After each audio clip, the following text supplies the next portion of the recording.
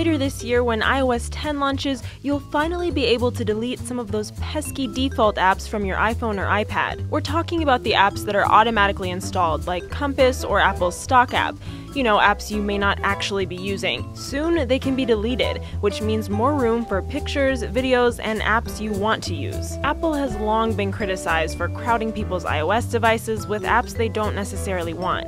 While the change in software likely comes as a breath of fresh air for Apple users, Forbes pointed out in its review of the iOS 10 developers preview that it kind of seems like Apple's just playing catch up with Android. Right now, it looks like users won't be able to delete every pre installed app.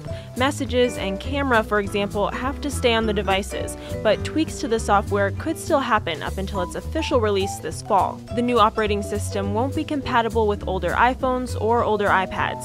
For Newsy, I'm Samantha Crook.